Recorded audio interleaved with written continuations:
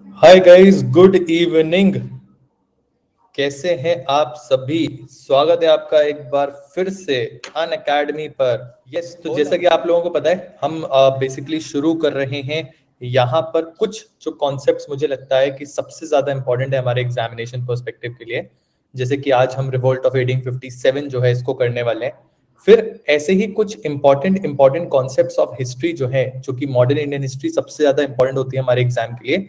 तो उसके हमने क्वेश्चंस तो बहुत सारे कर लिए but again what I feel is कि थोड़े बहुत टॉपिक्स जो हैं जो मोस्ट इंपॉर्टेंट वन होते हैं उनको हम जल्द से जल्द एज अ कॉन्सेप्ट जी हाँ एम एच सेट या कोई भी लॉ एंट्रेंस एग्जामिनेशन जिसमें आपको जीके आता है और साथ ही साथ जीके के यहाँ पर आपको देखने को मिलता है हिस्ट्री uh, तो ये सभी जो है यहाँ पर डिटेल में हम कवर करने वाले जी तो ये हमारी यहाँ पर एम होगा।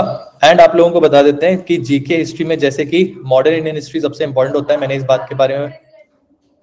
तो जब हम हिस्ट्री की बात करते हैं तो इसमें बहुत सारी चीज़ें जो है जैसे कि मैंने आपको बताया मॉडर्न इंडियन हिस्ट्री में सबसे इंपॉर्टेंट जो है वो 1857 के रिवॉल्ट से ही शुरुआत आपको करनी है। Uh, मुझे कई बच्चों ने इसके बारे में पूछा भी था मैसेज में भैया अगर हम हिस्ट्री पढ़ना चालू करते हैं तो हमें कहाँ से शुरू करना चाहिए? तो मैंने जो है कहा था कि 1857 से आप शुरू कर सकते हो। एंड फिर उसके आगे आप कार्यवाही कर सकते हो, ठीक है? अब 1857 के बाद जो इंपॉर्टेंट इवेंट होता है, वो है इंडियन नेशनल कांग्रेस का फॉर्मेशन ठीक है? हाउएवर इसको हम फ्रिंज टॉपिक की तरह लेकर ही जल्दी से जल्दी पढ़ लेंगे, क्योंकि इसमें केवल दो तीन फैक्ट्स हैं जो हमें पता होने चाहिए। फिर जो बहुत इंपॉर्टेंट फैक्ट आता है, वो आता है अबाउट द एक्सट्रीमिस्ट हंजी डॉली ये वही है, मंगल पांडे जी की मूवी वाला।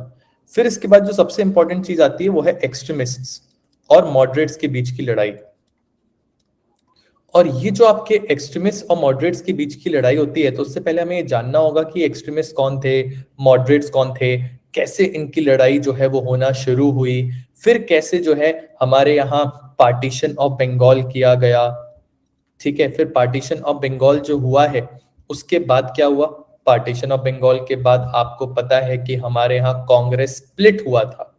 ठीक है? कांग्रेस स्प्लिट मतलब कांग्रेस के अंदर ही ये दो लोगों ने, इन दो लोगों के बीच बंटवारा हो गया था। एंड चूँकि ये बंटवारा हुआ था, कांग्रेस उसके बाद बहुत कमज़ोर यूनियन की तरह देखने को मिल रही थी। इसलिए ये बहुत बड़ा इवेंट है और ये हुआ था इन द ईयर 1907 ठीक है? तो इससे जुड़े हुए फैक्ट्स जो है हम पढ़ेंगे। फिर हम आगे आएँगे और हम पढ़ेंगे अबाउट दी कोमा गाता मारू इंसिडेंट कोमा गाता मारू ठीक है? तो कहने का तात्पर्य यहाँ पर यह है कि इस प्रकार से हम टॉपिक्स को आगे जल्दी जल्दी जल्दी जल्दी खत्म करते जाएँगे, ताकि आपके एग्जामिनेशन पर्सपेक्टिव के लिए जो चीज़ें इंपॉर्टेंट हो, उनको मैं यहाँ पर ज़्यादा से ज़्यादा आपको कवर करा दूँ। ये हमारा इवेंट ये हमारा टास्क रहेगा यहाँ पे, ठीक है? सो आई होप हम सभी इस चीज़ में अलाइंड है। प्लीज़ जिन बच्चों ने मुझे यहाँ पर फॉलो नहीं किया है, आपको फॉलो बटन दिख रही होगी टीचर के नाम के बाजू में, उसको आप फॉलो कर लीजिएगा, ताकि आपको अन अकेडमी के ऐप पर नोटिफिकेशन भी आता जाए। साथ ही साथ आपने टेलीग्राम को फॉलो कर रखा होगा, नहीं किया है तो कर लीजिएगा। That is being Aditya Rai यहाँ पे आपको हर एक क्लास का लिंक जो है, वो मिलता रहेगा। तो आप कहीं से भी क्लास को मिस नहीं करोगे। अगर नोटिफिकेशन नहीं आया तो वहाँ मिल जाएगा, वहाँ नहीं मिला तो नोटिफिकेशन आ जाएगा। तो हम टेक्निकल ग्लिचेस की वजह से अपना नुकसान होने नहीं देंगे बट रादर हम ये इंश्योर करेंगे कि हमारी क्लास जो है वो अच्छे से होती जाए, ठीक है? क्या इसको नोट नोट डाउन करना इंपॉर्टेंट है? यस आज मैं आपको बता रहा हूँ 1857 हम इतने अच्छे से पढ़ लेंगे रिवोल्ट ऑफ़ 1857 कि फिर आपको इस हिंदुस्तान के किसी भी कानून, किसी भी एग्जामिनेशन में पूछ लिया जाए, ये आपको बनेगा, ठीक है? तो अब प्लीज़ एक अच्छी सी नोटबुक में इसको लिखना भी शुरू कर देना बट जब मैं समझा रहा हूँ, तब लिखने की ज़रूरत नहीं है। जब मैं लिखने के लिए आपको बकायदा टाइम दूँगा, उस समय आप लिखिएगा। एंड क्या लिखना इंपॉर्टेंट है सर हम स्क्रीनशॉट नहीं ले सकते, हम फ़ोटो नहीं ले सकते, हम ये सब नहीं कर सकते। मत करना ये। आई वुड रिक्वेस्ट क्योंकि मैं बता रहा हूँ, बहुत फ़ोटोज़ बहुत स्क्रीनशॉट्स बच्चे लेते हैं but at the end of the day वही चीज़ें जो है, वो इफ़ेक्टिव हो पाती हैं, जो वो हाथ से लिखते हैं। अगर आपने हाथ से लिखा है तो तो आपको ये चीज़ बनेगी। अगर नहीं लिखा है तो ट्रस्ट मी आपको ये कभी नहीं बनेगा। भले आप कितनी भी ज़्यादा यहाँ पर जो है, वो बातें कर लें कि हम इसको जो है करके रखेंगे बाद में रिवाइज करेंगे, ऐसा नहीं होगा। ठीक है? तो चलिए तो आप जिन बच्चों ने नया नया ज्वाइन किया, उन सभी को पूरा प्रोसेस समझ में आ गया होगा। बीच बीच में मैं आप लोगों से क्वेश्चन पूछता रहूँगा एंड जब क्वेश्चंस पूछूँगा तो एक पोल आपके यहाँ पर देखने को मिलेगा आपको। जैसे कि मैं आपको एग्ज़ाम्पल दिखा देता हूँ। पोल का एग्ज़ाम्पल कैसे होता है? जैसे कि क्वेश्चन है हाउ इज़ द जोश? ठीक है? और आपको बोलना है, A high sir, B, very high C, super duper high और D not at all high not at all high ठीक है? तो इस तरीके से चार ऑप्शन है पोल आपके सामने आ रहे हैं, यहाँ पर आप क्लिक कर सकते हैं। देखो, नीचे आ रहा होगा सभी को पोल वेरी गुड तो यहाँ पर कुछ बच्चे हैं जिनका जिनका जो जोश है वो उतना ज़्यादा हाई नहीं है अभी। बाकी बच्चों का सुपर डुपर हाई हो चुका है। ठीक है तो इस प्रकार से आप लोगों को पोल यहाँ पर देखने को मिलता है। तो इस पोल की मदद से भी हम जो है इंटरैक्टिव तरीके से बातचीत यहाँ पर कर सकते हैं।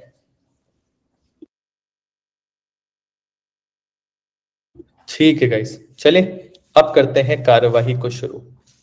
यहाँ पर हम बात कर रहे हैं अबाउट 1857 का रिवॉल्ट जानने से पहले थोड़ा सा हमको बैकग्राउंड में जाना पड़ेगा। और बैकग्राउंड में आप जाओगे तो आपको पता चलेगा इट वॉज़ बेसिकली 1600 ईस्वी 1600 एडी जब हुआ क्या था कि जो हमारा यूरोपियन एरिया था, वहाँ पर इन लोगों को अब लगा कि हम थोड़ा सा डेवलप हो गए हैं और हमको अब जाना चाहिए दूसरी कंट्रीज़ में उनको एक्सप्लोर करने के लिए और हम इंटरनेशनल ट्रेड जो है वो करना चाहते हैं। इसी चीज़ के चलते, चूँकि वहाँ शिप बिल्डिंग जो है वो बहुत स्ट्रांग हो गई थी, अब जो है लोग तैयार थे एकदम जंग के लिए, वो तैयार थे कि उनको किसी भी प्रकार का अगर रास्ते में कोई इशू भी आता है तो उसको वो डील कर पाएँगे। इन सभी चीज़ों के उद्देश्य से 1600 में पहली बारी पुर्तगाली लोग जो है, जिनको हम पोर्चुगीज कहते हैं ये इंडिया की तरफ़ बढ़ना शुरू किया। और ये आकर बढ़िया इंडिया में रिसाइड किए। कुछ समय राजाओं से मिले, उनको अच्छा तोहफा दिया। और फिर उन्होंने ये पाया कि यार इंडिया में अगर हम जाते हैं तो वो तो सोने की चिड़िया है। इतने सारे इतने सारे उसमें आपको देखने को मिलेंगे कि हमारे यहाँ मसाले थे, हमारे यहाँ स्पाइसेस थे, हमारे यहाँ कार्डमम थी। और ये सब चीज़ें वहाँ पर बहुत ज़रूरी थी। क्यों ज़रूरी थी? क्योंकि जैसा कि आपको पता है, वो थोड़ा सा ठंडा इलाका है। तो वहाँ पर इन लोग क्या करते हैं कि इनके यहाँ पर मीट का सेवन बहुत ज़्यादा किया जाता है। बट चूँकि मीट का सेवन किया जाता है नॉन वेजिटेरियन फ़ूड खाया जाता है, उसको पकाने के लिए और फिर प्रिजर्व करके रखने के लिए मसालों की बहुत ज़रूरत थी। और मसाले वहाँ पर जो है, वो उतनी आसानी से उग नहीं पाते थे। इसीलिए इसीलिए फिर क्या हुआ? इसीलिए फिर वहाँ से लोग जो है, हमारी तरफ़ आना शुरू हुए, आकर्षित होकर। तो पहली कोशिश जो करी गई थी, वो करी गई थी 1498 में जब वास्को डिगामा जो है हमारे यहाँ आए थे। बट फिर फुल फ्लेजेडली जो है, वो 1600 से हमारे यहाँ आना इन्होंने रेगुलरली शुरू कर दिया। ब्रिटिशर्स हमारे यहाँ आते हैं। आने के बाद वो हमारे यहाँ स्टैब्लिश करना चाहते हैं एक कंपनी जिसका नाम क्या था? ईस्ट इंडिया कंपनी अब ये ईस्ट इंडिया कंपनी क्या थी? क्या ये ब्रिटिश सरकार की कंपनी थी? नहीं। जैसे आप लोगों को पता है, हमारे इंडिया में रिलायंस है टाटा है, वैसे ही वहाँ पे भी बहुत सारी अलग अलग कंपनीज़ थी जो कि जाना चाहती थी बाहर ट्रेड करने के लिए। तो ईस्ट इंडिया कंपनी नामक एक कंपनी थी, जिसको ब्रिटिश चार्टर जो है वो मिला था, यानी कि आदेश जो है वो मिल गया था रानी के द्वारा कि आप जा सकते हैं और आप ट्रेड कर सकते हैं इंडिया में। तो अपनी इस मोनोपली को लेते हुए ईस्ट इंडिया कंपनी इंडिया में आई। इसने ट्रेड करना चालू किया। जब ये ट्रेड करना चालू कर रही थी तो उसको पता चला कि अगर ये यहाँ से कुछ मसाले या यहाँ से क्लोथ्स या कुछ भी चीज़ ट्रेड करके अगर ले जाते हैं तो उसको कम से कम दस गुना प्राइस में टेन टाइम्स दी प्राइस ले जाकर वहाँ पर ये बेच सकते हैं। क्यों? क्योंकि यहाँ पर वो गुड्स आपको चीपर मिल जाते थे और वहाँ पर जाने के बाद क्या होता था? उन गुड्स की वैल्यू बहुत ज़्यादा बढ़ जाती थी। तो इन सभी कारणों की वजह से ट्रेड का यहाँ पर बहुत ज़्यादा पोटेंशियल देखने को मिला। एंड ये करते क्या थे? क्या इनका जो ये ट्रेड होता था, उससे हमको कुछ नुकसान था? नहीं। हमारे लिए तो अच्छी बात थी। क्यों? क्योंकि हमारी चीज़ें बाहर ट्रेड हो रही हैं और जब भी कभी इंटरनेशनल ट्रेड होता है तो भाई हमारे लिए तो फ़ायदा है। तभी तो आज इतना ज़्यादा हम किस चीज़ की बात करते हैं? मेक इन इंडिया की बात करते हैं, आत्मनिर्भर भारत की इंडिया की बात करते हैं। हम कहते हैं कि भैया, हमारे यहाँ से गुड्स को एक्सपोर्ट करो ज़्यादा से ज़्यादा, क्योंकि उससे हम बीओपी कमा पाएँगे। लेकिन इस समय भी हम बड़े खुश थे। लेकिन फिर क्या हुआ? हमारे यहाँ आपसी रंजिशों ने ब्रिटिशर्स को एक मौका दे दिया। किस चीज़ की रंजिशें? सर, एक दूसरे के ऊपर अटैक करने की रंजिशें जो राजाओं की थी, उनकी वजह से ब्रिटिशर्स को मौका मिला किस चीज़ का? एक सहयोग बनने का। ये जताने का कि हम आपके सहयोग के लिए क्योंकि ब्रिटिश, ब्रिटिशर्स जो इंडिया में आए थे, ईस्ट इंडिया कंपनी जो आई थी, हाय राधा तो उसकी एक बहुत बड़ी शक्ति थी। क्या शक्ति थी? उसकी फौज। ब्रिटिशर्स हैड अ माइटी फौज। उनके पास इतने सारे आर्म्स थे अम्यूनिशन थे वेल ट्रेन्ड आर्मी थी। उनकी जो आर्मी थी, वो प्रॉपरली डिसिप्लिन आर्मी थी। तो चूँकि उनकी फौज इतनी ज़्यादा डिसिप्लिन थी, उनकी फौज इतनी ज़्यादा माइटी थी तो हमारे यहाँ के राजाओं को उन्होंने ऑफ़र देना चालू किया। और उस ऑफ़र को हम क्या कहते हैं? सब्सिडियरी अलायंस सब्सिडियरी अलायंस ये सब्सिडरी अलायंस क्या था? सिर्फ़ समझो अभी, सब कुछ लिखा है, मैं लिखवा दूँगा। सब्सिडरी अलायंस क्या था? सब्सिडरी अलायंस में ब्रिटिशर ये कहते थे सपोज़ करिए ये एक राजा है जिनका नाम है राजा एक्स वाई जी तो उनसे कहते थे ब्रिटिशर्स हम आपके यहाँ एक अपनी फौज की छोटी सी टुकड़ी जो है वो स्टेशन करेंगे, यानी वो आपके यहाँ रहेगी। जिस एरिया में इन लोग रहेंगे, उसको क्या कहा जाता था? गैरिसन गैरिसन जहाँ पर फौज के लोग रहते थे, उसको गैरिसन नाम दिया गया था। तो ये टुकड़ी आपके यहाँ रहेगी। इस टुकड़ी को खाना, पानी और इनकी सैलरी आप दोगे। प्लस ये सर्विस प्रोवाइड करने के लिए आप ईस्ट इंडिया कंपनी को रॉयल्टी भी दोगे। जैसा कि शार्क टैंक में आप लोगों ने रॉयल्टी के बारे में सुना होगा आजकल बहुत, वैसे ही।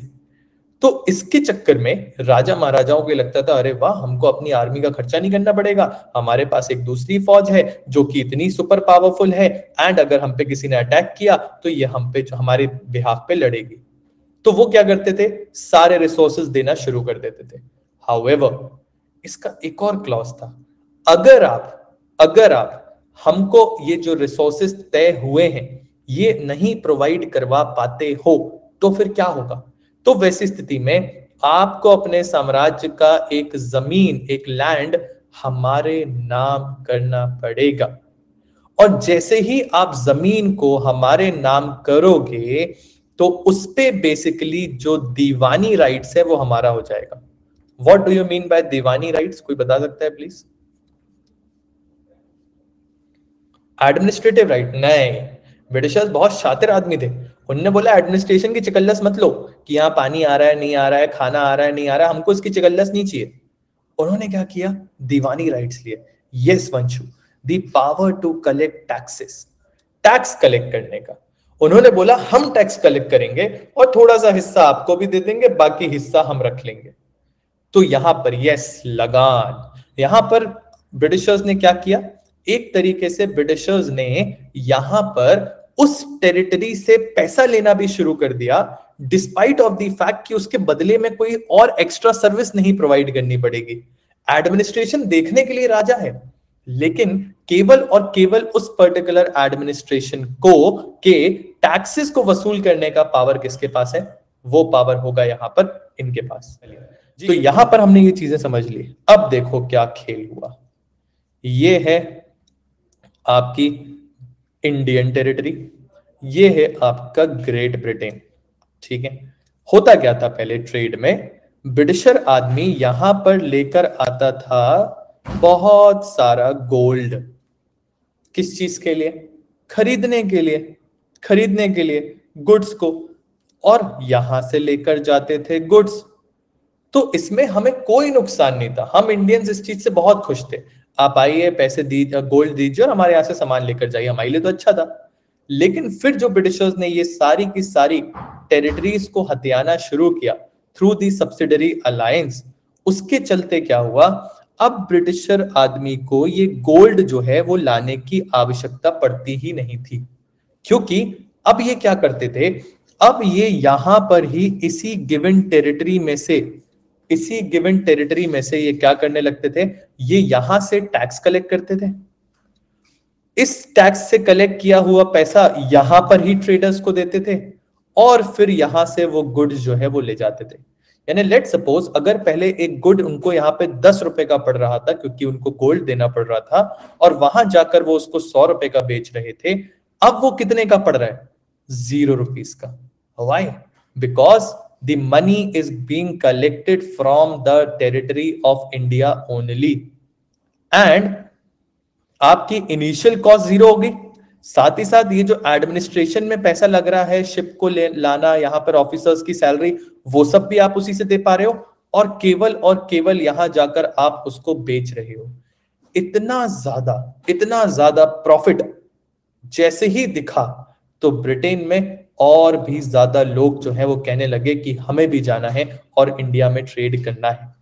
हाउएवर जब ये सारी कार्यवाही चल रही थी उसी समय होता यह है कि इससे हमारे यहाँ जो ब्रिटिश आर्मी की फौज, ईस्ट इंडिया कंपनी की फौज, जिसको हम यहाँ पर अभी ब्रिटिश आर्मी बोलेंगे, ये आर्मी की फौज में लोगों को अपॉइंट भी किया जाने लगा। यानी हमारे हिंदुस्तान के ही लोग इस पर्टिकुलर फौज में जाकर अपॉइंट होने लगे। ठीक है वेरी गुड अच्छी बात है सर ये। अपॉइंट तो हो सकते थे, लेकिन ये कभी भी हायर रैंक पे नहीं जा सकते थे। सर, ये तो बहुत बुरी बात हो गई। भले ये कितनी भी मेहनत कर लें, ये कभी हायर रैंक पे नहीं जा पाएँगे। यानी ये कभी भी आपके कर्नल ब्रिगेडियर इस फौज पे नहीं, इस रैंक पे नहीं जा पाएँगे जहाँ पर कमांडिंग का पावर होता है। एंड साथ ही साथ इनका जो ट्रीटमेंट है, वो भी बहुत बुरी तरह से किया जाता था फौज में। इनके साथ बहुत गलत बर्ताव किया जाता था। ऐसी अफवाह भी फैली थी कि जो फ्लार था yes for a secure job बच्चे। जी, जो फ्लार हुआ करता था, आटा, जिससे इनको खाना दिया जाता था, ऐसी ऐसी बातें भी बोली गई कि उस फ्लार में हड्डियों को पीस कर मिलाया जाता था। साथ ही साथ, एक जो सबसे तत्कालीन चीज़ थी, वो क्या थी? जो ब्रिटिश आर्मी में सबसे तत्कालीन इमीडिएट इफ़ेक्ट हुआ था, वो हुआ था मंगल पांडे जी के साथ। अब इसके बारे में समझ लेते हैं। आप लोगों ने एनफील्ड के बारे में तो सुना होगा। रॉयल एनफील्ड ये बाइक्स का। हम उस एनफील्ड के बारे में बात नहीं कर रहे हैं बट अभी हम बात कर रहे हैं एनफील्ड गन की। ठीक है? अब ये गन थी एनफील्ड नामक। इस गन में लगता था कार्ट्रेज कार्ट्रेज यानी कि गोली। अब उस गोली को चलाने के लिए क्या करना पड़ता था? आपको अपने मुँह से उसको ऐसे खींचना होता था और फिर उसको आप फिट करते थे और फिर गोली चलती थी। ठीक है? लेकिन हुआ ये कि वो जो कार्ट्रिज थी, इस कार्ट्रिज में ये कहा गया कि गाय और सुअर का जो मांस होता है फैट उस पर्टिकुलर फैट का ग्रीस बना के लगाया गया था। अब चूँकि इसमें गाय और पिग का जो फैट है वो लगा था, इसलिए जो हमारे इंडियंस थे, जो रिलीजियस थे, जो फौज में थे, उनको ये चीज़ अपने रिलीजन के विरुद्ध लगने लगी। एंड चूँकि ये उनके रिलीजन के विरुद्ध थी, उन लोगों ने इस चीज़ को करने से मना कर दिया। लेकिन उसके बावजूद, एक कमांडर ने जो है, बहुत बुरी तरह बर्ताव अपने सिपाहीज के साथ किया, सिपाहियों के साथ किया, और जिसमें मंगल पांडे जी भी वहाँ पर ही खड़े थे। और इनको ज़बरदस्ती ये बोला जाने लगा कि आप जो है, इसको अपने मुँह में लगाइए और उसके बाद गन को फायर करिए। इस चीज़ से परेशान होकर, इस चीज़ से परेशान होकर मंगल पांडे जी ने एक एफर्ट किया। क्या किया? उन्होंने गन उठाई और अपने कमांडर को at the spot on the spot commander को शूट कर दिया। सोचो क्या जिगरा होगा बंदे में। तभी हम कहते हैं, मंगल मंगल मंगल पांडे। है ना? तो इतना बड़ा स्टेप इनके द्वारा लिया गया। अब जैसे ही इनके द्वारा ये स्टेप लिया गया, इनको सभी को उठाकर, उनको और उनकी पूरी की पूरी कमांड को उठाकर जेल में डाल दिया गया। अब जैसे ही इनको जेल में डाला गया, अब हुई असली कहानी शुरू। जैसे इनको जेल में डाला गया तो एक तरफ़ से पूरे के पूरे हिंदुस्तानी जो कि फौज में थे, इन सभी को लगने लगा कि अगर इनको फांसी पर चढ़ाया गया, अगर इनके साथ गलत किया गया तो सर ये कल को हमारे साथ भी कर सकते हैं। तो अब हम सबको क्या होना होगा? एकजुट होना पड़ेगा। एंड चूँकि इन्होंने डिसाइड किया, हम सबको एकजुट होना होगा, ये सभी आते हैं और आधी रात में इन्होंने इस जेल को तोड़ा और सभी लोग, कहाँ पे हुआ था ये पूरा इवेंट मेरठ। और ये सभी लोग मेरठ से भागते हुए पहुँचते हैं कहा? पूरी रात ट्रैवल करके ये पहुँचते हैं दिल्ली। क्योंकि पता ही नहीं था जाना कहा है। लेकिन ये पहुँच जाते हैं दिल्ली। दिल्ली क्यों गए? उसके पीछे भी कारण है। दिल्ली इसलिए गए जी क्योंकि ब्रिटिशर साम्राज्य के आने से पहले जो सबसे बड़ा साम्राज्य हमारे यहाँ चला करता था दैट वॉज़ द मुगल साम्राज्य। ठीक है? अब चूँकि हमारे यहाँ मुगल साम्राज्य चलता था, मुगल साम्राज्य के जो सबसे लास्ट रूलर थे, उनको हम कहते हैं बहादुर शाह टू। बहादुर शाह टू। और ये बहादुर शाह टू की कहानी भी थोड़ी सी ऐसी हो गई थी। क्यों? क्योंकि वो बेचारे सीधे साधे थे। औरंगज़ेब जो है, उनको कहा जाता था कि वो last fearsful leader of the Mughal empire थे। उसके बाद धीरे धीरे मुगल एम्पायर डिक्लाइन होने लगा। तो बहादुर शाह जो टू थे, या बहादुर शाह ज़फ़र भी इनको कहा जाता है, इनको ब्रिटिश आर्मी ने कहा था, देखो साहब, हमको आपसे लड़ने का मतलब नहीं है कोई। आप एक काम करिए, वैसे भी आप बुज़ुर्ग हो गए, आप बढ़िया अपने रेड फोर्ट में रहिए। हम जो है, आपको हर महीने पेंशन जो है, वो भिजवाते रहेंगे। आप अपने बच्चों के साथ, राजा का टैग लेकर जो है बढ़िया से जीवन जिए। तो बहादुर शाह जी अपने घर में बढ़िया सो रहे थे, चिल करके। तभी सुबह सुबह पहुँचती है वहाँ पर पूरी की पूरी फौज, और फौज पहुँचती है और कहती है कि राजा साहब को बुलवाइए। तो जो उनके सैनिक होते हैं, वो पहले तो मना कर देते हैं, लेकिन फिर वो बताते हैं कि ये किस प्रकार से आ रहे हैं, कहाँ से आ रहे हैं तो बहादुर शाह जी को जो है उठाया जाता है। बहादुर शाह जी उठते हैं, उठने के बाद बाहर आते हैं, बोलते, क्या हुआ? बोले, साहब ऐसा ऐसा हुआ है और हम आपको अपना राजा मानते हैं तो हम आपके लिए काम करेंगे। हम आपसे चाहते हैं कि आप आगे आइए और ये ब्रिटिश साम्राज्य को हिंदुस्तान में से आपको भगवाना होगा। तो फिर इस चीज़ के चलते क्या हुआ? इस चीज़ के चलते फाइनली जो बहादुर शाह टू थे, इनको उठाया गया था। एंड फिर उठाने के बाद इनको लगा कि यार ये अच्छा मौका है। हो सकता है मैं वापस से पूरे हिंदुस्तान का राजा बन जाऊँ। तो इन्होंने क्या किया? पूरे हिंदुस्तान के छोटे छोटे राजा जो थे, उन सभी को लेटर लिखा। लेटर लिखना चालू किया कि आइए एकजुट होना है। और फिर यहाँ से जो चीज़ की शुरुआत हुई, उसको कहते हैं अठारह की क्रांति या फिर द रिवोल्ट ऑफ़ 1857 अब ये जो अठारह की क्रांति हुई, इसको अलग अलग नामों से जाना जाता है। कुछ लोग, जैसे कि वीर सावरकर जी जो हैं, उन्होंने इसको नाम दिया है first war of independence. However बहुत सारे ऐसे स्कॉलर्स हैं जिनका ये कहना है कि ये वॉर ऑफ़ इंडिपेंडेंस नहीं था बट रादर ये केवल और केवल रिवॉल्ट था जिसको आप एक तरह से सिपॉय म्यूटनी कह सकते हो। Sepoy mutiny what do you mean by sepoy mutiny sepoy mutiny का मतलब जब आपके देश की फौज आपके खिलाफ खड़ी हो जाए दैट इज़ म्यूटनी तो कह रहे हैं कि सैनिकों के द्वारा की गई म्यूटनी ही तो थी। तो इसको हम फ़र्स्ट वॉर ऑफ़ इंडिपेंडेंस जो है, वो कंसिडर नहीं करेंगे। तो इस तरीके से अलग अलग जो है, यहाँ पर आपको तर्क दिए गए हाउएवर ये केवल यहाँ पर ही नहीं रुका। इसके बाद अलग अलग राजा, कानपुर में, लखनऊ में, बेगम हज़रत महल, या फिर हमारे जो है दिल्ली में, ऐसे अलग अलग जगह, झांसी की रानी, ये सब जुड़ने लगे। बट जो एक चीज़ सबसे इंपॉर्टेंट है वो ये है कि ऐसा कहा जाता है, ये सब किसी एक कॉज के लिए नहीं रुके थे। इन सबको ये पता था कि हम सभी की तकलीफें अलग अलग हैं, लेकिन हम सभी का दुश्मन एक है। That is the Britisher however सब यस आयुषी गैरी भरे हुए थे कब से? सारे के सारे भरे हुए थे। एंड क्यों भरे हुए थे? वही चीज़ आज हमको यहाँ पर जानना है कि आखिर ऐसा क्या हुआ था। ठीक है? आई होप यहाँ तक चीज़ें क्लियर है। किसी बच्चे को कोई दिक्कत क्वेश्चन क्वेरीज क्लियर है? चलो just give me one second time let's upload the file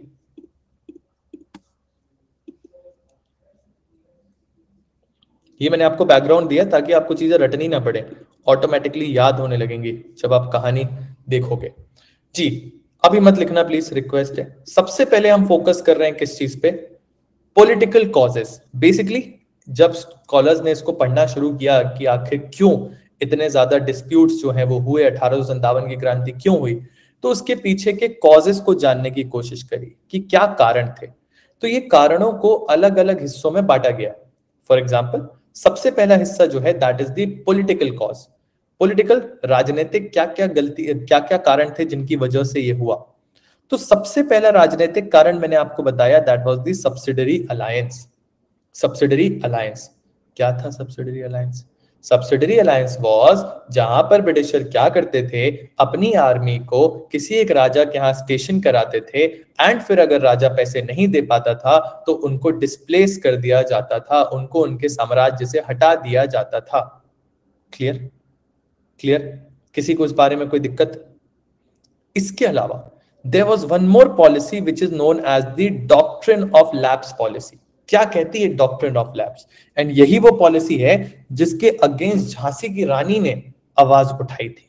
What do you mean by doctrine of lapse कोई बता सकता है आप में से?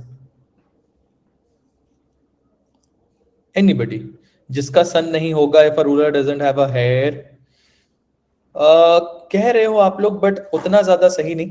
थोड़ा सा यहाँ पर कमी है इस चीज़ में। Lord Dalhousie, okay, then it will be acquired by Britishers, okay, Empire, real son, yes, Shruti अब श्रुति आई ना सही पॉइंट पे। जी डॉक्ट्रिन ऑफ़ लैब्स जो है बेसिकली किस चीज़ के बारे में बात करता है? डॉक्ट्रिन ऑफ़ लैब्स ये कहता है कि अगर देर इज़ अ पर्सन अगर there is a person who does not have a natural legal hair. Natural legal hair. और नेचुरल लीगर हेयर में भी सन अगर उनका खुद का बेटा ना हो जो कि नेचुरली बॉर्न हुआ है तो फिर उनका जो साम्राज्य है वो ब्रिटिशर्स के हाथों में चला जाएगा। इस चीज़ को कहा जाता है डॉक्ट्रिन ऑफ़ लैब्स ठीक है? अब ये हो गया, सर, एक कारण।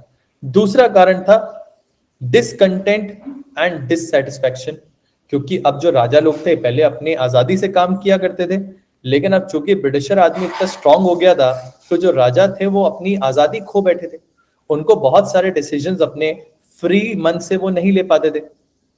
जी हाँ श्रुति। ठीक है? तो ये एक सबसे बड़ा कारण था। ये मैंने आपको डॉक्टर ऑफ़ लैब्स बता दिया। Then was this one annexation of princely states बहुत सारे प्रिंसली स्टेट्स थे जिनको एक एक करके क्या किया जा रहा था? अक्वायर किया जा रहा था। जैसे कि सतारा जो है, उसको अक्वायर किया गया, नागपुर को किया गया, झांसी को किया गया। इन सभी को चूँकि अक्वायर कर रहे थे तो इनके मन में अब जो है ये बैठ गया था कि हमसे हमारा साम्राज्य छीना गया है। इसके अलावा, जो भी ब्रिटिशर, जो भी मुगल्स थे, उनकी तरफ़ बहुत ही ह्यूमिलिएटिंग बिहेवियर किया जाता था। वैसे वैसे अगर देखा जाए तो इनके जस्ट पहले ब्रिटिशर्स के आने के पहले मुगल एम्पायर ही तो सबसे बड़ा था। लेकिन जब ब्रिटिशर्स इंडिया में आए तो उन्होंने धीरे धीरे करके मुगल एम्पायर को किसी भी प्रकार की जो इज़्ज़त से नवाजा जाता था, उस चीज़ को धीरे धीरे करके खत्म कर दिया।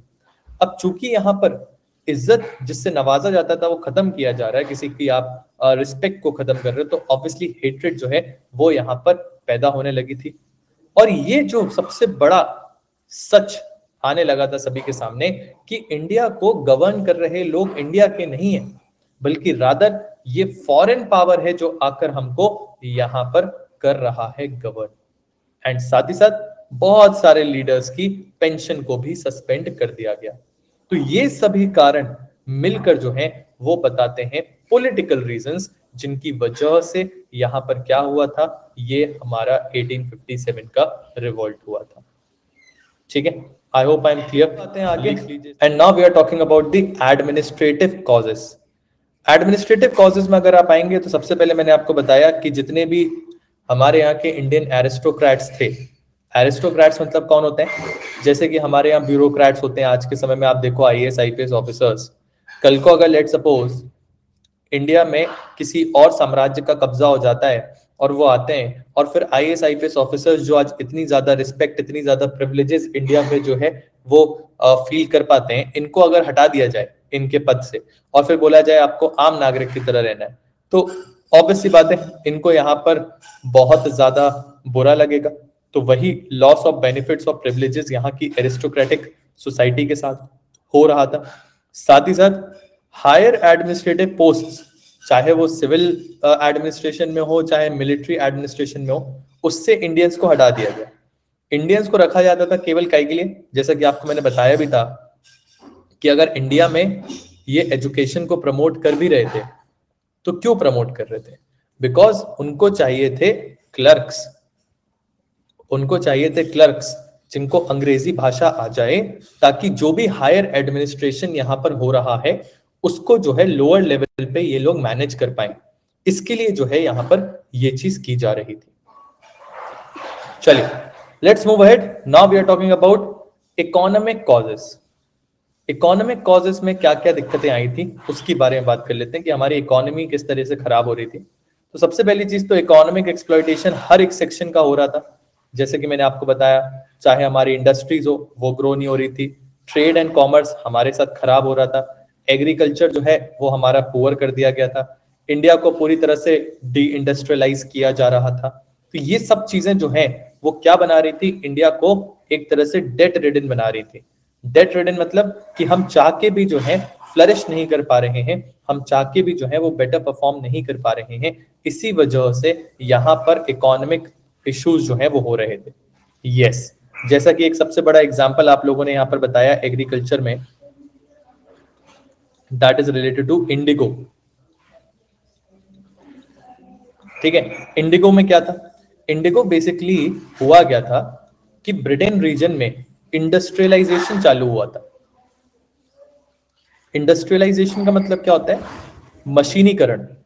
यानी अब वहाँ पर जो भी काम होगा, वो मशीनों से होगा। क्योंकि स्टीम इंजन का इन्वेंशन हो गया था। अब चूँकि सारी चीज़ें मशीनों से काम करेंगी तो मतलब मास प्रोडक्शन किया जा सकता है। और मास प्रोडक्शन करने के लिए हमें रॉ मटेरियल तो चाहिए। एंड उसी समय वहाँ पर जो आर्टिफिशियल डाई कलर यूज़ किया जाता था, उसका शॉर्टेज हो गया। जिसकी वजह से अब उनको चाहिए था कि कोई हो जो कि इंडिगो को उगा सके, क्योंकि इंडिगो जो है वो सबसे अच्छा कलर जो है वो छोड़ता है। तो ठीक है इंडियंस को क्या कहने लगे? इंडियंस को कंपल्सरीली बोला गया कि आपको अपनी ज़मीन पर अगर आपकी ज़मीन को हम बांट देते हैं बीस हिस्सों में, एक, दो, तीन, चार, पाँच, और ऐसे करते हुए, इन टोटल अगर आपके ज़मीन को हम बीस हिस्सों में बांट दें तो उस बीस हिस्से में से आपको तीन हिस्सों में इंडिगो उगाना पड़ेगा। और इसको क्या कहा जाता था? तीन कठिया सिस्टम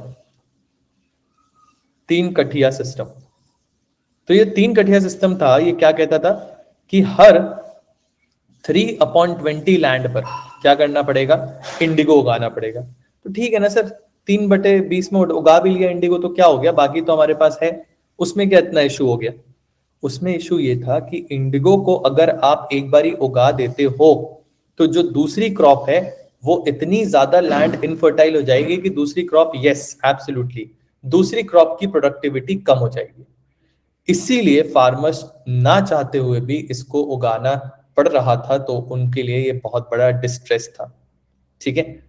जी तो यहाँ आप देख सकते हो, ये था एक इकोनॉमिक कॉस्ट उसके बाद ruin of the mercantile class mercantile class मतलब हमारे यहाँ जो इंडियन ट्रेड होता था कॉमर्स होता था, इन सभी पे बहुत ज़्यादा टैरिफ लगाया जाता था। कैसे? इसको भी जल्दी समझते हैं। ये देख के तो आप लोग को मज़ा आ जाएगा कि ब्रिटिशर्स कितने कमीने इंसान थे। ये इंडियन टेरिटरी ये ब्रिटेन की टेरिटरी ठीक है? इंडियन टेरिटरी से पहले ये क्या करते थे? फिनिश्ड गुड्स ले जाते थे फिनिश्ड गुड्स अब ये क्या करने लगे? इनके यहाँ पर हो गया इंडस्ट्रियलाइजेशन इंडस्ट्रियलाइजेशन होने का मतलब कि अब यहाँ पर जो है सारा का सारा काम कैसे होगा? With the machines now since everything will be done through machines तो इस वजह से they required what raw material तो Radha then Radha then taking the final goods अब इंडिया से क्या ले जाया जाने लगा? रॉ मटेरियल्स ठीक है. बट सर तब तक हमारे फिनिश गुड्स भी तो जा ही रहे थे। तो उसमें लोगों को नुकसान क्या हुआ? नुकसान सुनना अभी। ये जो इंडस्ट्रियलाइज गुड्स हैं, ये कैसे बन रहे हैं मशीन से? तो ऑब्वियसली ये फास्टर बन जाएँगे। मास प्रोडक्शन हो रहा है तो चीपर भी होंगे। ठीक है? यहाँ पर ग्रेट ब्रिटेन है। यहाँ पर भी ब्रिटेन की ही सरकार है। ब्रिटिश टेरिटरी ऑफ़ इंडिया यहाँ पर भी किसकी सरकार है? ब्रिटिशर्स की सरकार है। अब ब्रिटिशर्स का शातिरपना देखना। जब भी कभी कोई फॉरेन कंट्री से कोई प्रोडक्ट हमारे यहाँ पर आता है तो उस पर हम टैरिफ लगा सकते हैं। टैरिफ उन पे लगाया जा सकता है, ठीक है? तो इन लोग क्या करते थे कि जो भी वहाँ से गुड्स आ रहे हैं, उन पे कोई भी टैरिफ नहीं लगता था, जिसकी वजह से जो गुड ऑलरेडी चीपर है, वो और चीपर हमारे इंडियन मार्केट में पहुँचता था। अब सपोज़ करिए, मैं आप लोगों को बोलता हूँ कि ढाई सौ रुपए की झालर है, एक जो आपको घर में लगानी है या वही झालर आपको पच्चीस रुपए में मिल रही है चाइना की, वो आपको लगानी है। मैं कहता हूँ, आप कितने ही बड़े देशभक्त क्यों ना हो, दिल पे हाथ रख के कसम खा के बताना कि आप कौन सी वाली झालर लगाओगे। सोनम गिरी चाइना वाली, सर बट क्वालिटी अरे क्वालिटी वॉलिटी तो सब मेन इक्वली है। दिवाली में हमको झालर लगानी, लगा के हम कौन सी लगाएँगे, बताओ। सब बोल रहे हैं पच्चीस वाले, कितने ही बड़े देशभक्त हो आप। वही चीज़ यहाँ होती थी। हमारे इंडियन प्रोडक्ट्स जो बनते थे, वो हाथों से बनते थे। जो कार, जो हमारे यहाँ के ट्रेडर्स थे, वो हाथों से इन चीज़ों को बनाकर फिर वहाँ पर ट्रेड किया करते थे। अब लेकिन यहाँ पे क्या हो रहा है कि सर प्रोडक्ट आ रहे हैं बहुत ही सस्ते। ठीक है, कोई बात नहीं, चलो इसको भी हम झेल लेते ब्रिटेन में तो जाकर हमारे एक्सपोर्ट बिक रहे होंगे ना? नहीं। अब इन्होंने वहाँ पे क्या शातिरपना किया? वहाँ पे लगा दिया इंडिया के फिनिश गुड्स पे tariff very good Ayushi ji India के फिनिश गुड्स पे लगा दिया गया टैरिफ यानी अब अगर कोई प्रोडक्ट वहाँ पर सौ रुपए का बिक रहा है तो उस पर पचास रुपए का और टैरिफ लगाकर वन फिफ्टी रुपीज़ का बेच रहे हैं। और इन्हीं के द्वारा बनाया गया प्रोडक्ट जो यहाँ पर इंडस्ट्रीज़ के द्वारा बनाया जा रहा है, वो सौ रुपए का बिक रहा है। तो अब वहाँ के लोग कौन सा प्रोडक्ट खरीदना पसंद करेंगे? हंड्रेड रुपीज़ वाला, खुद का, स्वदेशी या डेढ़ सौ रुपए का विदेशी? सौ रुपए वाला। That is how India from being the major exporter of finish goods became the major importer of finish goods and the exporter of raw materials इस तरीके से हमारी जो ट्रेडिशनल हैंडीक्राफ्ट इंडस्ट्री थी वो पूरी की पूरी डिक्लाइन होने लगी। यस yes, ना ही एक्सपोर्ट में कुछ मिल रहा और इंपोर्ट भी हम उन्हीं का कर रहे हैं। ठीक है? तो इस तरह से डिस्ट्रक्शन हुआ हमारे इंडियन मैन्युफैक्चरर्स का। रोइन हुआ मर्केंटाइल क्लास में। लैंड पे प्रेशर था। क्यों प्रेशर था लैंड पे? कोई बता सकता है? अब देखो, हमारे इतने सारे ट्रेडर्स हैं। इतने सारे क्राफ्ट्समैन है। अब ये क्राफ्ट्समैन जो है, इनका काम नहीं हो रहा है। इनको अब किसी तरह से ट्रेड करने नहीं मिल रहा है। इनका क्राफ्ट में काम नहीं चल रहा है। ये अब हैंडीक्राफ्ट नहीं कर पा रहे। तो अब ये कहाँ जाएँगे? खाना तो चाहिए ना गाइस खाना जाने के लिए हमको कहा जाना पड़ेगा? भैया एग्रीकल्चर में चलते हैं। इसीलिए एक ज़मीन पर ज़्यादा से ज़्यादा लोग जो है वो एग्रीकल्चर करने लगे। And that is why land पे प्रेशर जो है वो बहुत ज़्यादा बढ़ गया। क्योंकि बहुत सारी पॉपुलेशन जो पहले अर्बन एरियाज़ में जाकर काम किया करती थी, वो अब काम नहीं कर पा रही थी। सिमिलरली अब सोचिए, बहुत सुंदर सी पेंटिंग बन रही है इंडिया में। ठीक है क्राफ्ट्समैन बना रहे इन पेंटिंग को खरीदेगा कौन? फिर से मैं एग्जांपल देता हूँ एक और। मैं आप लोगों को कहता हूँ कि मैं जो है, बहुत इंस्पायर हो गया हूँ सलमान खान से और मैं अब पेंटिंग्स बनाऊँगा। और पेंटिंग्स बनाने के बाद मैं ये पेंटिंग बेच रहा हूँ दस हज़ार रुपए की। दिल पे हाथ रख के कसम खा के बताना, आप में से कितने लोग ये पेंटिंग्स मेरे से खरीदो? नो एक भी नहीं। क्यों भाई? क्यों नहीं खरीद रहे हो? प्यार खत्म हो गया क्या भाई के लिए? आप सोच के देखो, अगर यही पेंटिंग मैं आपको फिर भी फिफ्टी रुपीज़ की बेचता तो क्या आप लोग खरीदते? प्राइस अफोर्ड नहीं कर सकते यस फिर भी आप खरीद तो फिफ्टी रुपीज़ में तो फिर भी खरीद लोगे। लेकिन फिफ्टी रुपीज़ क्या मेरा मेहनताना होना चाहिए इतनी महँगी पेंटिंग और इतनी प्यारी पेंटिंग बनाने के बाद? नहीं। तो इसीलिए अब क्या होता था? कि चूँकि हमारे यहाँ जो ये पेंटर्स होते थे क्राफ्ट्समैन होते थे, नक्काशी करने वाले होते थे, इनको मेजर कौन प्रोटेक्ट करके रखता था? उनको मेजर प्रोटेक्ट करने वाला व्यक्ति जो होता था, वो होता था किंग किंग पेट्रोनेज देता था। ये सब सुंदर सुंदर पेंटिंग बना के ले जाते थे, राजाओं की और राजा देखते थे, अरे वाह, क्या पेंटिंग है मेरी, लगा दो यहाँ पर दीवार पे, दे दो इनको इतनी अशरफिया। तो इनको पेट्रोनेज कौन देता था? राजा देते थे। अरे वाह, क्या नक्काशी है। काम करो, ऐसी नक्काशी हमारे महल में भी करो। दे दो इनको अशरफिया। अब भाई, किंग जो है, वो पेट्रोनेज देते। थे लेकिन अब तो किंग ही नहीं है। क्यों? क्योंकि उनको तो सब्सिडरी अलायंस और डॉक्टर ऑफ़ लैब्स के तहत हटाया जा रहा है। तो क्या इन क्राफ्ट्समैन को, क्या इन पेंटर्स को कहीं पे अपना मार्केट मिलेगा जहाँ वो बेच सकते हैं? नहीं। इसीलिए तो पूरी तरह से हमारे यहाँ आर्ट एंड आर्टिकल आर्किटेक्चर जो है, वो पूरी तरह से खत्म होने लगा। And that is why everybody shifted to what land and चूँकि खुद की ज़मीन भी नहीं थी सबके पास तो ज़मीन थी नहीं तो फिर वो क्या करने लगे थे? They started living as a landless labourer यानी आपकी ज़मीन है भैया हम आपकी ज़मीन आपसे थोड़ी सी लेते हैं हम आ, उसमें सिकमी आप लोगों ने सुना होगा जहाँ पे ज़मीन जो है वो किराए पे ली जाती है उस पर प्रोडक्ट्स को उगाया जाता है उसके बाद उन प्रोडक्ट्स को लौटा दिया जाता है। सॉरी प्रोडक्ट्स में से थोड़ा सा हिस्सा दे दिया जाता है और ज़मीन को लौटा दिया जाता है। सो so, उस प्रकार की चीज़ें होने लगी जिसकी वजह से हमारे यहाँ क्या होने लगा? बहुत ज़्यादा ही जो है प्रेशर ऑन लैंड आ गया। एक्सप्लॉयटेशन ऑफ़ पेजेंट्री ये तो आपको पता ही है लगान मूवी सभी ने देखी है। तो हमारे यहाँ permanent settlement zamindari settlement ryotwari mahalwari ये सब आने लगे बट ये आपके लिए उतना ज़्यादा इंपॉर्टेंट नहीं है। तो सर आपके कौन से रीजन इकोनॉमिक कॉजेस अब आते हैं social socio religious causes socio religious causes सबसे पहला सोशल एक्सक्लूजन हिंदूज को इंडियंस को किसी भी तरीके से सुपीरियर नहीं कंसिडर किया जाता था. Only the whites were considered to be superior जो वाइट्स होते थे, केवल उनको ही सुपीरियर कंसिडर किया जाएगा। जो वाइट्स हैं, केवल वही हायर पोस्ट पे जा पाएँगे। तो ये सोशल एक्सक्लूजन हमारा on the basis of race हो रहा है। फिर सोशल लेजिस्लेशन कहने का मतलब कि यहाँ पर जो हमारे ब्रिटिशर्स थे, उन्होंने कोशिश करी बहुत सारी चीज़ें ऐसी करवाने की, जो शायद हमारा समाज उस समय एक्सेप्ट करने के लिए तैयार नहीं था। फॉर एग्ज़ाम्पल सती प्रथा को खत्म कराना। फॉर एग्ज़ाम्पल विडो रीमैरिज करवाना। भले ही हमको ये चीज़ें आज सही लग रही हैं बट उस समय हमारे समाज को ये चीज़ें सही नहीं लग रही थी। उनको लग रहा था ऐसे कि बाहर से कोई व्यक्ति आया है और आने के बाद हमारे इंडिया में आक्रमण करके हम पे जो है, हमारे ट्रेडिशंस को चेंज करने में लगे हुए हैं।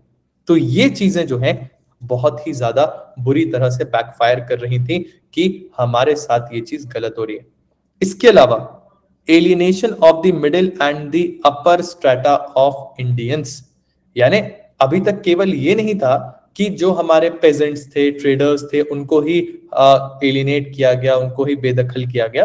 बट अब जो हमारे रिलीजियस मैन थे, जैसे कि पंडित जी हुआ करते थे मौलवीज हुआ करते थे। पहले इनके पास बहुत सुपीरियर पावर हुआ करता था, क्योंकि they were consider to be the person who could decipher and read the Upanishads who can decipher and read the religious text तो इसलिए इनके पास बहुत सुपीरियर पावर था। लेकिन अब अब चूँकि ब्रिटिशर्स आ गए थे तो इनका पावर भी कम होने लगा था। एंड साथ ही साथ क्रिश्चियनिटी इंडिया में बहुत तेज़ी से आ रही थी। एंड क्रिश्चियनिटी आने की वजह से क्या था? सर क्रिश्चियनिटी आने की वजह से हिंदुइज्म या फिर बाकी रिलीजन में कन्वर्जन जो है वो होने लगा था। तो ऐसा लगा कि शायद ब्रिटिशर्स जो है वो हम सभी को कन्वर्ट करना चाहते हैं अपने रिलीजन में दैट इज़ क्रिश्चियनिटी ठीक है? I hope I am clear चलिए, अब आते हैं जी आगे मिलिट्री कॉजेस मिलिट्री कॉजेस क्या थे? मिलिट्री कॉजेस सबसे पहला आया था जनरल सर्विस एनलिस्टमेंट एक्ट इस जनरल सर्विस एनलिस्टमेंट एक्ट के अंतर्गत हमको ये पता चला कि इंडियन सोल्जर्स की और ब्रिटिश सोल्जर्स की सैलरी अलग अलग होगी। अलग अलग होगी। एंड इंडियन सोल्जर्स को कम सैलरी मिलेगी ब्रिटिश सोल्जर्स को ज़्यादा सैलरी मिलेगी। क्या ये कहीं से भी जस्टिफाइड नज़र आ रहा है? बिल्कुल नहीं। इससे सिपॉइस पे और क्या इंपैक्ट पड़ रहा था? उनको अब्यूज किया जाता था ह्यूमिलिएट किया जाता था। इंडियन सिपॉइज भले ही कितनी भी लड़ाई कर लें, अपने एक पर्टिकुलर रैंक के ऊपर, यानी सूबेदार के ऊपर वो जा ही नहीं सकते, चाहे कुछ भी हो जाए। और वहीं अगर इंग्लैंड से कोई फ्रेश रिक्रूट आ रहा है तो वो उनके ऊपर बैठ रहा है सुपीरियर बन के। ठीक है। इसके अलावा जो इमीडिएट कॉस्ट था, तत्कालीन, वो क्या था? ग्रीस्ड कार्ट्रिज जिसमें क्या हुआ था? Sepoys were required to bite the end of the cartridge before using it और जो ये एंड ऑफ़ द कार्ट्रिज है इसको कहा जाता था कि ये किससे ग्रीस्ड है? Fat of cow and pig से। इस वजह से सिपॉय जो हैं, यानी कि सैनिक बहुत इंफ्यूरिएट हुए और फिर उन्होंने इस म्यूटनी को अंजाम दिया। That is the causes of failure कि भैया आखिर ये फेल क्यों हुआ? अगर सब कुछ इतना अच्छा था 1857 में तो फेल क्या हुआ? तो सबसे पहले कि कोई एक यूनिफाइड प्रोग्राम नहीं था या यूनिफाइड आइडियोलॉजी नहीं थी। ठीक है? कोई भी एक यूनिफाइड प्रोग्राम या यूनिफाइड आइडियोलॉजी नहीं थी कि भाई क्यों लड़ रहे हैं हम इनके खिलाफ? और उसके बाद अगर हमने ब्रिटिश सिस्टम को हटा भी दिया तो हमारा एडमिनिस्ट्रेशन कैसे चलेगा? ये कुछ भी डिसाइडेड नहीं था एंड चूँकि एक तो बेसिकली यूनिफाइड प्रोग्राम या आइडियोलॉजी ना होने की वजह से। सेकेंड यूनिटी नहीं थी जी। यूनिटी नहीं थी। While sepoys of Bengal army were revolting some soldiers in Punjab and south India जो है वो ब्रिटिशर्स की साइड से लड़ रहे थे। तो इस तरह से यूनिटी हमारे हिंदुस्तान में लोगों में थी ही नहीं उस समय। Next lack of support from the educated Indians जितने मॉडर्न क्लास थे इन लोगों के व्यू में जो रिवोल्ट था ये बैकवर्ड लुकिंग था पुरा, पुरानी प्रथा थी जो आप कर रहे हो इसकी आवश्यकता नहीं है ऐसा उनका मानना था। उनका मानना था इतनी अच्छी अंग्रेज़ी की पढ़ाई करवा रहे हैं देखो ब्रिटिशर्स अच्छे आदमी है हमको एडमिनिस्ट्रेशन सिखा रहे हैं ये वो। तो इन चीज़ों के चलते उनका ये मानना था कि हमको यहाँ पर रिवोल्ट नहीं करना चाहिए। Then disunity among the leaders ये मैंने आपको बता दिया कि जो लीडर्स थे इवन उनमें ही यूनिटी नहीं थी किसी प्रकार की। क्यों? क्योंकि वो एक दूसरे के प्रति जेलिस थे। तो एट टाइम्स खुद ही को सस्पिशियस की सस्पिशन की नज़र से देखते थे। And how can we forget military superiority of the Britishers British army की इतनी ज़्यादा सुपीरियर फौज थी कि फिर कंपैरिजन था ही नहीं। There is a question for you guys question is आपको ये बताना है कि जो 1857 का रिवोल्ट हुआ था, वो किस पर्टिकुलर गवर्नर जनरल के टाइम पे हुआ था?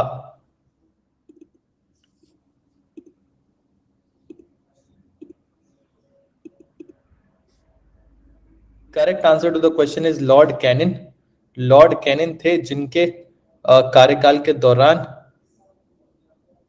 ये चीज़ हुई थी ठीक है with this i'm signing off thank you so very much keep studying keep drilling jai hind